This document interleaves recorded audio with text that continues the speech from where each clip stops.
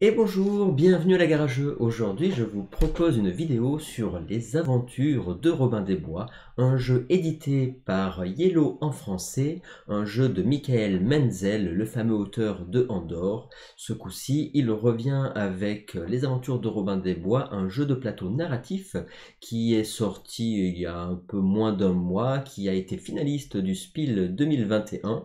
Et donc, je vous en parle aujourd'hui puisque j'ai euh, terminé la campagne je l'ai reçu euh, donc par euh, Yellow, que je remercie encore une fois. Et donc, bah, je vais essayer de vous faire un, petit débrief de mon ressenti sur le jeu, puis vous montrer un petit peu les mécaniques, comment ça fonctionne, et puis savoir ce que j'ai bien aimé et ce que j'ai moins aimé. Voilà, donc j'ai mis la capuche, on est en mode Robin des Bois, et c'est parti. Donc c'est un jeu qui se joue de 2 à 4 joueurs, c'est coopératif, ça peut se jouer à partir de 10 ans, c'est marqué sur la boîte, mais moi je dirais même à partir de 8 ans, et ce sont des parties qui durent environ 60 minutes, on va dire un peu plus quand on débute et un peu moins quand on voilà, quand on n'est pas trop nombreux. Donc euh, pour moi c'est déjà une belle réussite, le matos est très très beau, l'aventure est vraiment très chouette, les mécaniques sont très très simples. Alors j'ai fait une première partie en solo, alors à la Garjon on fait du solo, mais là le jeu n'est pas prévu pour être joué solo. Alors certes vous pouvez jouer euh, deux, deux personnages, deux héros, au moins Robin des Bois, mais euh, va y avoir des scénarios vous serez quand même obligé d'être deux si vous voulez euh, profiter pleinement de, du côté narratif et de, de l'immersion. Donc voilà, vraiment jeu de 2 à 4 joueurs. Moi j'ai fait toute la campagne après à 2 joueurs, euh, donc on a vraiment beaucoup aimé. Euh, c'est la première fois que ma compagne me dit tiens pour une fois là ce jeu il euh, n'y a pas de souci pour les règles euh, voilà on pourrait y jouer vraiment moi je pense à un enfant de 9-10 ans pour arriver à y jouer sans avoir besoin de l'aide des parents. C'est vraiment très très bien expliqué c'est très didactique. Donc on va en fait pas avoir besoin de se prendre un gros livre de règles dès le début. On part direct sur le premier chapitre où on apprend les règles en même temps que l'on joue donc, euh, alors ça, souvent, des fois, je trouve que c'est pas très bien mené. Et eh bien, écoutez, sur les aventures de Robin des Bois, c'est plutôt très bien, puisque euh, les mécaniques sont très simples, ce qui n'empêche pas d'avoir euh, ben, de la stratégie dans le jeu, mais sont, les mécaniques sont très simples et très bien amenées. Et donc, sur le premier chapitre, le premier scénario de l'aventure, vous allez en fait découvrir une bonne partie des mécaniques du jeu, mais en fait, ça se fait de façon très fluide. Donc vraiment 100% euh, bravo déjà pour, euh, ben, l'explication de, des règles et les mécaniques qui sont vraiment très bien expliquées et on revoit ça au fur et à mesure des scénarios avec des petits onglets pour revoir les systèmes de combat etc. Donc vraiment un gros plus plus euh, au niveau de ce point là sachant que donc vous n'avez pas besoin de regarder 50 pages de règles avant.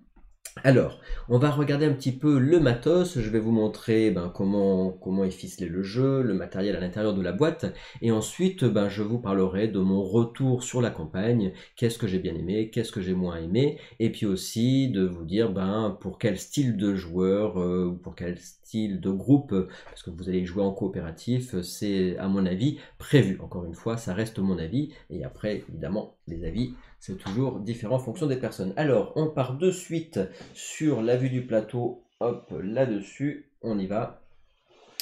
Alors, voilà. Et là, on est ici. Donc voilà le plateau, le plateau de jeu qui est vraiment très sympa parce que déjà on a l'impression de faire un, puzzle quand on le, quand monte. Pourquoi? Ben Parce que vous allez avoir comme ça, hop, ici, vous allez avoir des plaques, et donc les 8 plaques, vous allez donc les assembler pour former votre plateau de jeu. Donc c'est très chouette parce qu'à l'arrivée, le plateau est assez grand, mais euh, vous allez avoir, ça va prendre peu de place en fait, à partir du moment où vous allez le construire. Donc euh, voilà, ici vous avez donc le joli plateau de jeu qui est ici, hop, qui est très très sympa. Et alors ce que j'aime beaucoup, ce que j'ai beaucoup aimé durant l'aventure, c'est ce côté un peu calendrier de l'avant, c'est-à-dire que dans tout le plateau, c'est un plateau un peu legacy puisqu'on va le faire évoluer au fur et à mesure de la campagne. Vous allez avoir 7 chapitres, donc 7 aventures mais attention, on expliquera après, pour la rejouabilité, il y a pas mal de choses possibles, donc il n'y a pas juste cette, euh, cette partie, vous allez pouvoir jouer bien plus que ça. Donc sur le jeu, vous allez avoir sur ce plateau-là, vous avez plein en fait calendrier de l'avant, pourquoi? Parce qu'on va avoir des petites cases que vous allez pouvoir révéler et voir ce qui se passe dessous. Donc pour les curieux et les curieuses, c'est très très sympa puisqu'on va au fur et à mesure du jeu dévoiler des nouvelles tuiles, voir s'il y a certaines tuiles après qui vont être retournées et qui vont rester en place sur le plateau, et ça va nous faire évoluer le plateau au fur et à mesure des parties. Un gros gros plus pour le plateau par rapport à Andorre. Alors moi j'avais joué toute la campagne d'Andorre. Alors ceux qui ont aimé Andorre, je pense que c'est sûr, vous aimerez Robin des Bois. Euh, ceux qui n'ont pas aimé Andorre ou qui avaient, qui étaient un peu réticents, moi je vous avoue que j'étais un peu réticent sur Andorre Andorre qui est un jeu donc qui était sorti en 2012. Le côté hasard 2 m'avait déplu parce que du coup à la fin, enfin bref, on va pas parler de la campagne d'Andorre, mais en gros le, les lancers de dés étaient un peu compliqués pour ma part. Et euh, dans Robin des Bois, il n'y a pas de lancer de dés, donc évidemment, hein, ce coup-ci, euh, c'est plutôt pas mal pour moi.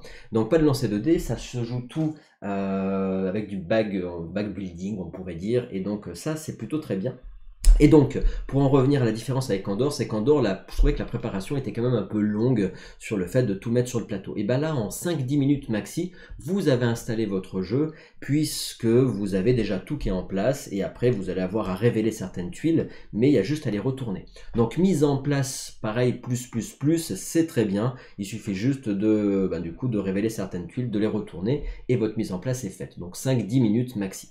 Vraiment très bien là-dessus aussi.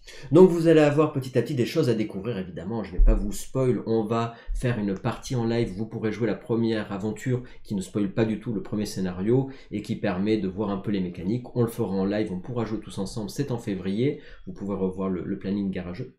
Euh, mais là, en gros, juste pour vous montrer, parce qu'il y a des petits endroits, vous savez que là, les, les, espèces de petites cuvettes qui sont là, ce sont des gardes, donc là, il n'y a pas de spoil, et tout simplement, quand ils apparaissent, hop, vous les retournez, et on a nos fameux gardes qui sont ici. Voilà. Et vous allez gagner des, euh, récompenses sous les fenêtres. Donc vous avez des gardes, mais vous n'avez pas que des gardes, vous avez des fenêtres hexagonales. Quand elles sont retournées, ce sont des nobles qui apparaissent.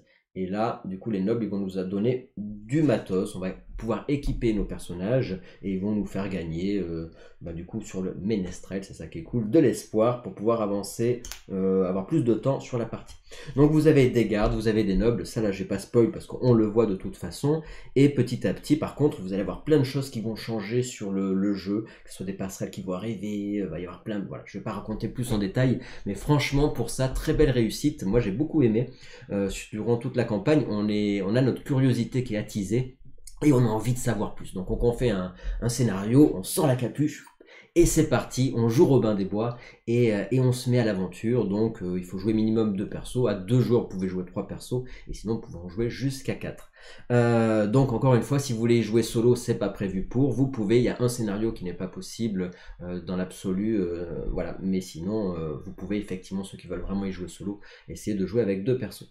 Donc encore une fois, belle réussite pour, euh, pour le plateau. Le concept de je révèle des, tuiles cachées, c'est très sympa. Vous allez avoir des mécaniques avec un, bateau qui va pouvoir bouger d'un point A à un point B. Vous allez avoir énormément des commencer avec très très peu de règles et vous allez avoir petit à petit des règles qui vont se débloquer assez simple et assez fluide donc vraiment euh, très chouette là-dessus. Donc voilà notre plateau de jeu. Nous allons avoir une mécanique euh, très simple. Hop, ici, on le montrera après. Mais donc nous avons des sabliers. Les sabliers, hein, c'est le, compteur de temps évidemment. Vous allez être restreint dans vos actions pour jouer vos, vos, parties et vos aventures. Et il va falloir évidemment aller finir avant que tous les sabliers soient écoulés. Sinon la fin tragique arrive et vous avez perdu l'aventure. Euh, le scénario, sachant que vous pouvez rejouer le scénario que vous avez perdu. Les scénarios, les uns avec les autres, je disais qu'il y a 7 scénarios qui s'enchaînent euh, sur l'aventure totale, mais quand vous avez perdu un scénario, alors nous ça nous est pas arrivé, on n'a pas perdu de scénario, on a eu euh, de la chance, après c'est la, la première session de la campagne, si vous avez perdu un scénario, vous allez le rejouer, mais vous allez avoir un petit système qui est très sympa qui est ici, qui permet en fait le 1 ou le 2, quand vous rejoignez un scénario, vous allez avoir des choses qui vont vous arriver différentes, plus ou moins faciles, si jamais vous avez perdu la, fois d'avant. Donc ça c'est très sympa, ça permet que même si vous rejouez le scénario, il va y avoir des petites choses qui vont arriver différentes, et ça c'est plutôt très sympa. Donc voilà, c'est concept de temps, et en fait, qu'est-ce qui va se passer? Ben, Chaque fois que vous allez avoir un round de jeu, et eh ben, vous allez avoir tout un défilé d'actions. Un défilé d'actions qui va fonctionner comment? Et eh ben, vous allez piocher dans votre, dans votre sac des, euh, des tokens de couleurs qui vont correspondre à votre personnage. Il faut jouer au moins Robin des Bois, donc il y aura au moins le vert. Et puis après, ça va dépendre des persos que vous jouez. Hein. Donc vous allez avoir plusieurs persos. Vous allez avoir euh, la belle Marianne en jaune, Petit Jean en bleu, et puis euh, Will Scarlett en, voilà, en bleu clair. Donc, ils vont arriver, vous allez mettre les joueurs hop, là-dedans. Et puis du coup, vous n'allez pas avoir que ça, évidemment. Vous allez avoir en plus, donc ça c'est un peu l'initiative. hein. Vous allez avoir en plus bah, le rouge qui correspond au, à l'ennemi, au temps qui s'écoule. À chaque fois que vous allez tirer un jeton rouge, et ben du coup le round va avancer au niveau du temps, vous allez perdre de l'espoir, vous allez avoir des gardes qui vont arriver, des gardes qui vont venir sur vous pour vous attaquer, le, grand, le grand noble avec son, son personnage violet euh, qui va arriver à essayer de vous, vous enlever des actions de mouvement s'il vous rattrape. Donc il y a pas mal de choses comme ça qui sont sympas. Donc vous allez mettre petit à petit donc euh, ou les violets, le gris ça permet d'avoir un des joueurs qui puisse rejouer au choix, le blanc ça permet d'avoir les joueurs, tous les joueurs qui rejouent dans l'ordre de notre choix. Vous allez avoir donc le gris, on l'a dit, le rouge, c'est les méchants. Et après, une fois que c'est comme ça, à chaque fois, eh ben, vous allez piocher pour savoir qui c'est qui va jouer. Donc là, par exemple, ben, tous les joueurs pourraient rejouer et on choisirait qui joue en premier parmi les joueurs. Et puis après, ben, ça, on va le sortir, on va recommencer, on pioche, boum, ah, un joueur de notre choix va pouvoir jouer. Donc on choisit qui, hop, on continue. Ah, là, c'est le méchant qui essaie de nous poursuivre, qui va essayer euh, de nous enlever des actions de déplacement.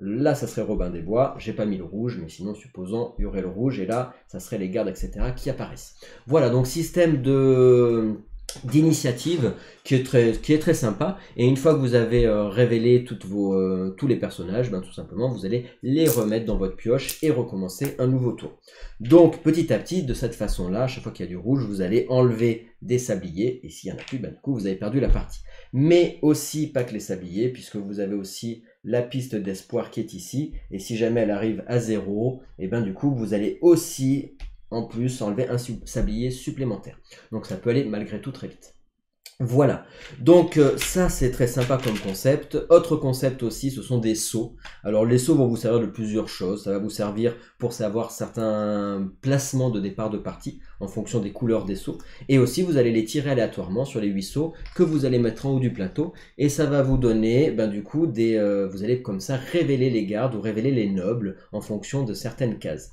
Et donc ça c'est très bien puisqu'à chaque fois, du coup, le plateau va bouger, les gardes vont apparaître, vont disparaître, les nobles vont apparaître, vont disparaître ils vont vous chercher et ça c'est plutôt très très bien pensé aussi. On ne sait pas ce qui va se passer, c'est le petit côté aléatoire du jeu qui est plutôt très très sympa avec ces histoires de voilà de personnages qui arrivent ou qui disparaissent, sachant que vous allez avoir effectivement dans le jeu de l'exploration. C'est un jeu qui est narratif, donc les, les missions sont s'enchaînent les unes après les autres. Et, euh, euh, alors, je vais pas vous expliquer en détail euh, la campagne parce qu'encore une fois, je ne veux pas vous spoil, mais il faut savoir que donc l'histoire va continuer en fonction de ce que vous avez choisi précédemment et donc le jeu va y avoir des choses qui vont rester en place sur le plateau en fonction de vos de vos choix. Alors l'histoire, parlons-en un petit peu, elle est très bien faite, vraiment très bien faite. Euh, un bouquin qui est super de plus de 200 pages, un gros un gros joli grimoire, Robin des Bois, qui vous explique tout, à la fois les règles petit à petit, l'histoire et vous allez avoir un peu comme un livre dont on est le héros vous allez avoir des fois plusieurs options possibles. Il va falloir choisir quelle option vous voulez décider de prendre. Alors attention, c'est pas un livre dont on est le héros où il y a une tonne de, possibilités. Mais en gros, vous allez à chaque fois ouvrir le bouquin et en fonction de, des personnages que vous allez rencontrer sur le plateau, eh ben, vous allez pouvoir discuter avec eux et choisir certaines options qu'ils vous proposent. Par exemple, avoir du soutien ou leur demander de l'aide, vous renseigner sur des quêtes, etc. Et c'est vraiment du gros gros boulot qui a été fait, puisqu'à chaque fois que vous faites une nou- nouvelle aventure, et ben les personnages que vous allez retrouver à nouveau sur le plateau vous donneront pas les mêmes infos, vous donneront pas les mêmes quêtes, etc. Et pareil, si jamais vous avez perdu la partie, vous donneront des choses différentes. Donc vraiment très sympa, ça ce côté pour rejouabilité, si on a envie de refaire, il y a du fluff qui est, qui est très sympa. Donc un bouquin euh, qui vous explique donc l'histoire. Vous avez en plus de ça des objets que vous allez pouvoir gagner. C'est résumé au tout début du livre et il y a aussi à la fin du bouquin les actions d'explorer, de combattre que vous allez apprendre petit à petit durant la partie. Donc euh, très sympa, euh, vraiment très sympa ce, ce concept-là. Un joli petit bouquin. Alors c'est du noir et blanc et puis surtout très pratique. À la fin vous avez puisqu'à chaque fois à chaque fois qu'il y a du rouge qui sort, vous allez révéler des gardes ou des nobles. Et là, c'est très bien fait puisque visuellement, ça nous permet de retrouver les, bonnes, les bons emplacements où va falloir retourner nos fameux jetons. Donc tout simplement, si vous avez un garde de 12 à révéler, vous voyez, ça va plus vite de regarder ici pour savoir où il est. Hop, il est là-bas, plutôt que de regarder sur tout le plateau. C'est très très bien pensé. Euh, bravo, bravo Yellow, bravo, euh, voilà, encore une fois, c'est très très bien.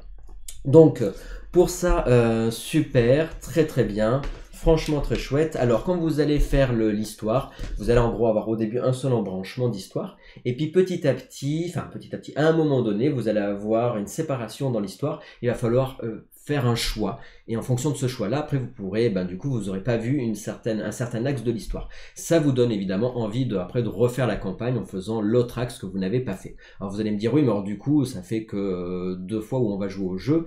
Euh, oui, si vous perdez pas, si vous perdez, vous allez refaire la, mission, mais avec des choses en plus, parce qu'il y a un petit 1 ou petit 2.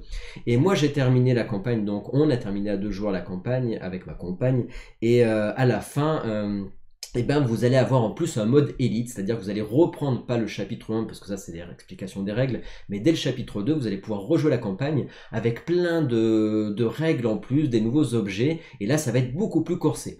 On va dire pour mon ressenti de jeu que c'était, on a eu faut dire ce qui est, assez pas mal de chance. Vous pouvez jouer en mode facile, chaque scénario si vous voulez, on a joué nous tout le temps en mode normal. Euh, et on a, il y a un scénario où ça a été limite, j'ai bien cru qu'on allait perdre, on a eu pas mal de chance heureusement au tirage des, combats. Donc ça peut se perdre au hasard, mais malgré tout le hasard il est, contrairement à Andorre, il est quand même plus mitigé. Si vous jouez stratégiquement, vous allez pouvoir mitiger le hasard et vous en sortir plutôt bien. Donc euh, on va dire que là c'est plutôt c'est pas très difficile, voilà. C'est une campagne qui est pas très difficile, sauf si vous avez vraiment pas de chance, mais sinon on s'en est plutôt sorti, euh, voilà, sans trop d'encombre, on va dire. Par contre, la curiosité est à son comble, puisqu'à chaque fin de, scénario, on a envie de savoir ce qui se passe après. Euh, voilà, donc quand même quelques combats épiques, quelques, voilà, vraiment des, trucs au niveau curiosité narratif très très sympa. Après, facilité de jeu, on va dire que c'est, euh, voilà, pas trop difficile pour la première campagne. Et c'est pour ça qu'ils ont prévu après de pouvoir rejouer l'histoire avec plein de nouvelles choses qui vont apparaître, même si on refait quand même les scénarios euh, qu'on avait vus précédemment. Mais va y avoir Surtout au niveau du gameplay, beaucoup plus de challenge, c'est pour ça que c'est du plus, il y a marqué plus, c'est élite, et là vous allez avoir plus de gardes, vous allez avoir des choses qui vont se passer, qui vont faire que vous allez euh, corser énormément le challenge, donc ça je trouve ça très sympa. Alors vous aurez le côté narratif qui sera moins présent, vous aurez quand même des différences dans les quêtes et des choses que vous n'aurez pas vues, mais vous aurez vous connaîtrez quand même l'histoire globale de la première fois. Mais voilà, ça peut se, largement se rejouer avec un côté plus hardcore gamer, comme on dit, si pour les gros joueurs vous voulez le refaire. Mais en tout cas, c'est vraiment un jeu que vous pouvez euh, jouer avec les enfants ou avec des gens qui ne sont pas joueurs. On comprend vraiment très très bien les règles, c'est super bien expliqué. Il y a un errata parce qu'il y a trois petites fautes qui, sont données sur, euh, sur le site de Yellow pour les corrections. Donc il y a un endroit où il y a une faute de, texte, enfin de, de chiffres, mais franchement, très peu de très peu de, coquilles, comme on dit, sur les, les 200 pages. En plus de ça, vous avez des marque-pages. Et à chaque fois, vous allez avancer dans l'histoire et les marque-pages de combat ou d'histoire vont se mettre à certains endroits et vous allez comme ça, du coup, euh, c'est très simple pour naviguer dans le bouquin. Naviguer dans le bouquin et encore une fois, vous avez les règles qui sont réexpliquées à chaque fois. Donc très sympa. Les règles, bah, au tout début, hein, vous avez juste un recto verso et puis c'est tout, c'est parti, on y va. Donc recto verso, qui est très simple, et après un livre de référence si jamais vous avez besoin, mais pareil, il n'y a que quelques pages. Donc vraiment, niveau règles, j'ai jamais vu aussi, euh, fluide et aussi, euh, aussi limpide.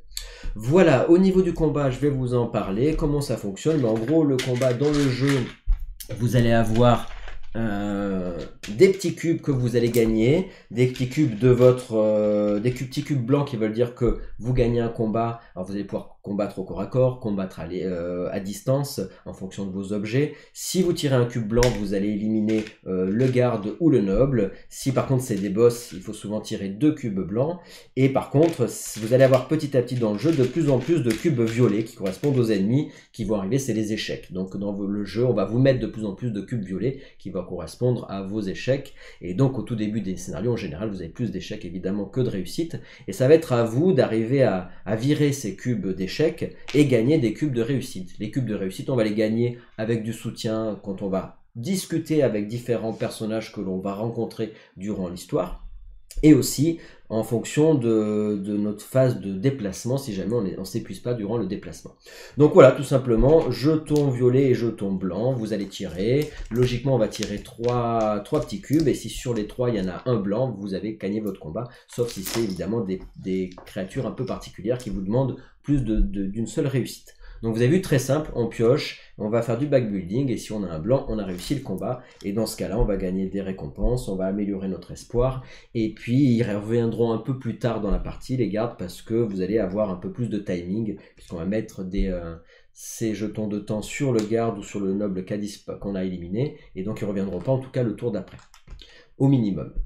Donc ça c'est vraiment très bien pensé, combat très très fluide, euh, la stratégie elle vient surtout du fait d'essayer d'éliminer les cubes violets de votre pioche pour essayer d'avoir le plus de cubes blancs possible. Donc ça, c'est très simple, ça fait, ça fait le taf, et c'est très bien. Alors attention, n'allez pas chercher la grosse stratégie là-dessus non plus, hein. ça reste limité. En même temps, ça se veut un jeu très narratif, donc si vous voulez un gros jeu de stratégie, évidemment, c'est pas un jeu qui est fait pour vous, on n'est pas là pour ça sur ce jeu, sur les aventures de Robin des Bois. Par contre, si vous cherchez un jeu euh, narratif que vous pouvez jouer en famille, qui est très simple, très abordable au niveau des règles, et si vous voulez attiser votre curiosité, là c'est tout à fait un jeu qui est fait pour vous, puisque franchement, euh, c'est une belle réussite. Et en plus, c'est quand même rejouable. On va dire au moins 14 euh, missions, sachant que les missions vont durer une heure et quart, une heure 20 quand c'est la première fois, et plutôt 50 euh, minutes quand vous, enfin une heure quand vous, moi j'ai, voilà, plutôt une heure quand vous avez l'habitude du jeu. Donc euh, voilà, après ça dépend évidemment ce que vous voulez mettre. Euh, en termes d'argent, il faut savoir que c'est un jeu qu'on trouve à, euh, voilà, il est annoncé à 59,90€ si je dis pas de bêtises. Alors pour terminer, c'est un peu l'innovation du jeu. Ils ont voulu se faire ça en mode jeu de jeu de figurines. En fait, vous allez avoir votre personnage qui va avoir sa couleur, donc en Robin des Bois qui est en vert. Et Robin des Bois, il a son petit meeple, il va apparaître à certains endroits du plateau. Et puis, pour se déplacer, on va utiliser donc ces actions de déplacement, ce sont ces petits euh, tokens-là. Donc, il va se déplacer comme on veut, il n'y a pas de case, on se déplace où on veut. Et une fois qu'on a fini de se déplacer, on va prendre, là, je n'ai pas le deuxième, mais après, il arrive, hop, il va arriver du coup de l'autre côté de notre déplacement, c'est-à-dire par exemple ici. Donc en soi c'est sympa, ça permet de se déplacer comme on veut et de ne pas avoir un système de casse sur le plateau. C'est un peu au mode jeu de figurines. Euh, vous allez avoir à chaque fois que c'est votre tour de jeu deux axes, donc du déplacement. Donc où vous utilisez euh, deux, ces deux jetons là de déplacement et vous arrivez juste après euh, le deuxième jeton, vous placez votre figurine ici et donc je me suis déplacé là. Ou alors vous pouvez faire un plus grand déplacement en utilisant celui-là. Mais si vous faites un plus grand déplacement, vous vous épuisez. Donc la différence c'est quoi? C'est que si j'utilise pas celui-là de, jeton, et ben du coup je vais à la fin de mon déplacement rajouter un cube blanc de réussite dans ma poche pioche. D'où l'intérêt de est-ce que j'utilise un gros déplacement ou pas? Il faut savoir qu'au fur et à mesure des aventures, vous allez avoir en plus des capacités spéciales. Je ne vais pas vous spoil, mais chaque héros va avoir une capacité spéciale qui va pouvoir débloquer, sans parler de, des équipements. Alors là, il y en a très peu, mais petit à petit, vous allez avoir de plus en plus d'équipements que vous allez pouvoir aussi gagner et débloquer. Quand c'est la, première aventure, la première campagne, vous n'allez pas garder les équipements enfin sauf très peu d'une mission à une autre mission, contrairement à quand vous allez jouer en mode épique, vous allez pouvoir garder, ça va être plus compliqué vos équipements, mais bon, ça vous le verrez. Euh, voilà, donc le déplacement, le concept est original, pourquoi pas, parce qu'effectivement on se sent libre, il y a le concept de est-ce que je vais plus loin ou pas, euh, je me déplace comment, ok. Maintenant, dans les faits, ça c'est le pour moi, le petit point négatif, c'est que euh, une fois que vous arrivez à la fin de votre déplacement, si vous êtes collé à un garde, vous allez pouvoir taper. Si vous êtes euh, loin à distance, vous allez pouvoir taper à l'arc si vous en avez un. Et si jamais donc vous êtes à côté d'un ennemi, vous allez pouvoir taper. Et si vous êtes à côté d'un point d'interrogation, vous allez pouvoir eh ben, euh, faire une enquête, explorer. Et là, vous avez un chiffre. Ben, tout simplement, vous allez regarder dans votre bouquin le chiffre, par exemple, c'était cet endroit-là, 214. Et en fonction de votre scénario, ça va vous dire ce que ça va vous donner comme information, ce que vous allez pouvoir faire avec cet endroit-là. Donc des fois, vous allez les révéler, il va y avoir plein de choses qui vont se passer, et ça, il faudra aller chercher dans le bouquin en fonction du chiffre de, l'exploration, quand il y a un petit point d'interrogation. Donc ok, il faut que votre personnage il arrive pile poil à toucher la case pour pouvoir euh, bah, explorer ou combattre, si jamais vous combattez au corps à corps. C'est assez, euh, on va dire que là c'est un petit peu, un petit peu limite parce que des fois, euh, pour peu que ça bouge un peu. Alors des fois, si vous faites bouger un peu les, euh, jetons, c'est pas toujours très précis. Surtout qu'après, vous allez prendre euh, les tuiles. Des fois, vous allez être sur une tuile et vous allez la révéler, la soulever et la retourner. Et quand vous la retournez, ben, votre personnage il a bougé et donc vous savez plus trop où c'est que vous étiez, enfin à quelque chose près.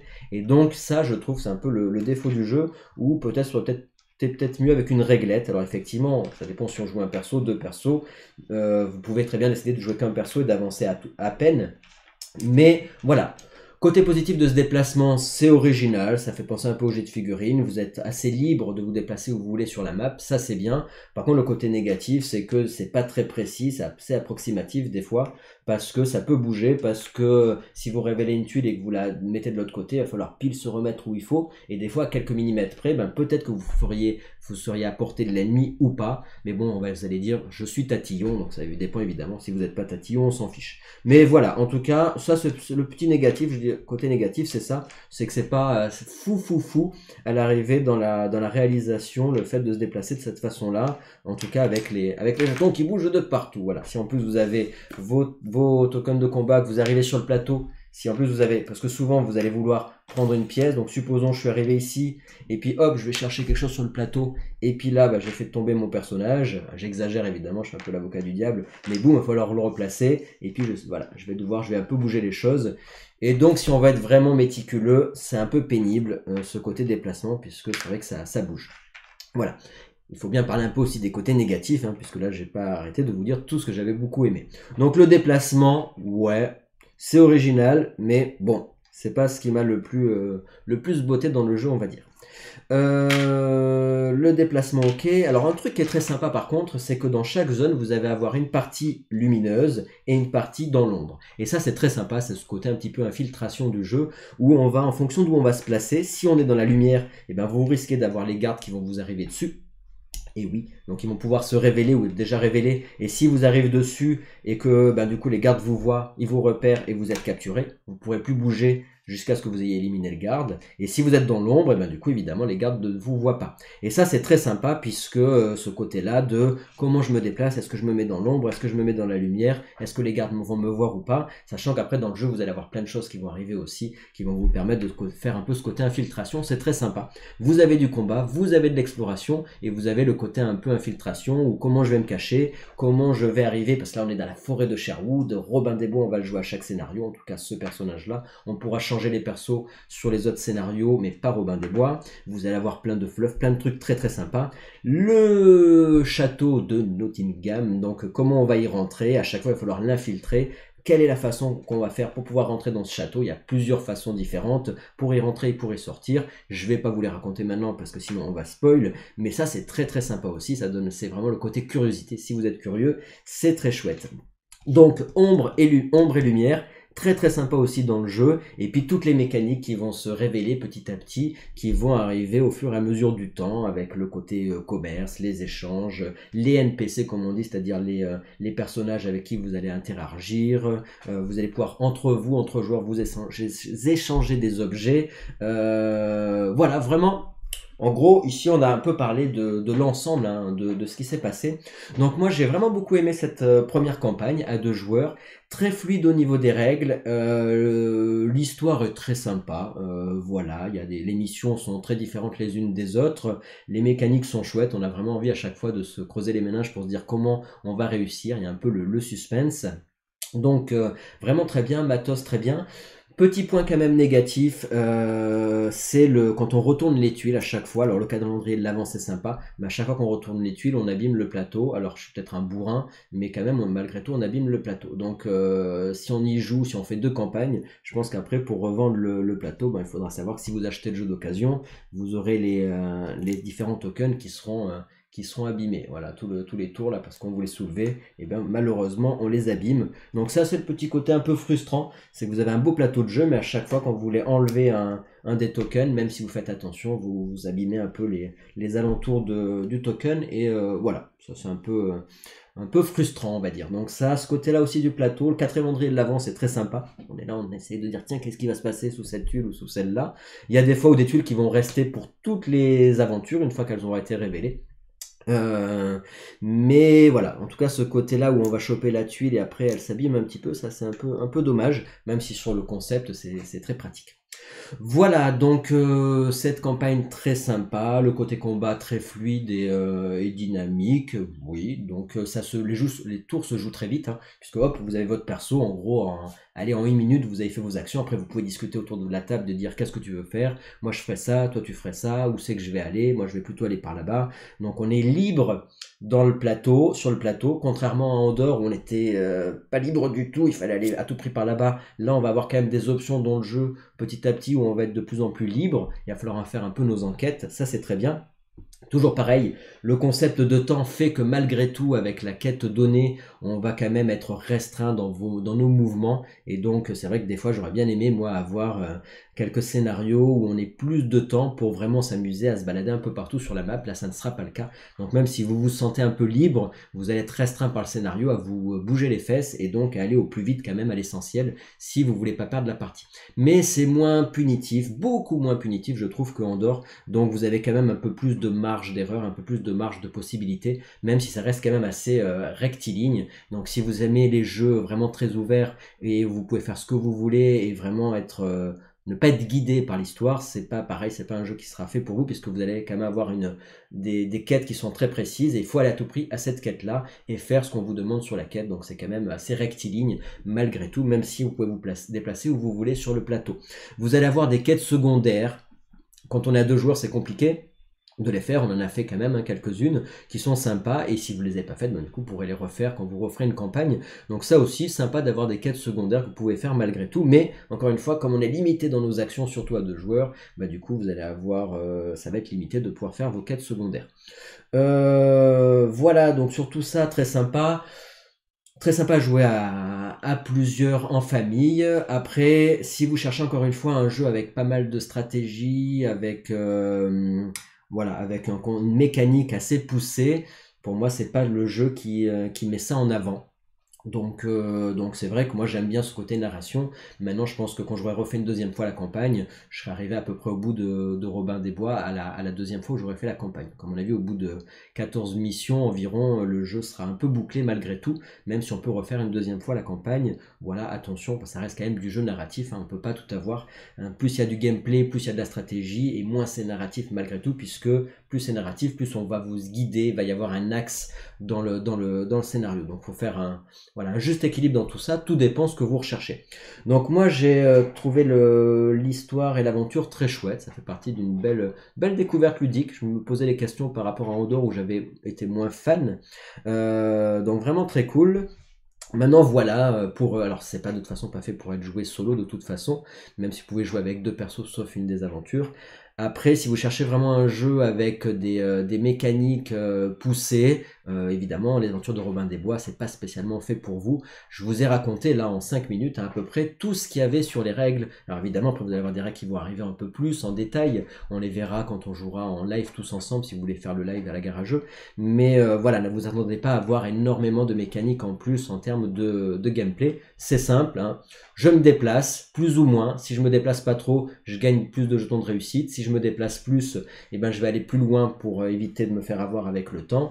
Une fois que j'ai fini de me déplacer, ou je combats si je peux, ou alors je vais explorer si je peux aussi, ou rien du tout si je peux pas. Et il y a le système d'infiltration avec les zones euh, d'ombre, les zones lumineuses avec ces systèmes de garde qui sont sympas. Et puis toujours le côté est-ce que je rentre dans le comment je vais faire pour rentrer dans le château. Donc ça sympa le petit côté stratégie avec ça mais pas plus loin. Donc n'allez pas chercher un jeu avec une énorme stratégie euh, en tout cas au niveau du gameplay ça reste euh, fluide rapide euh, succinct comme je vous ai expliqué juste avant voilà, bah écoutez, avec ça, j'espère que ça vous donnera l'idée et puis vous pourrez du coup vous positionner. En tout cas, encore une fois, ça reste mon avis hein, sur ce que j'ai bien aimé.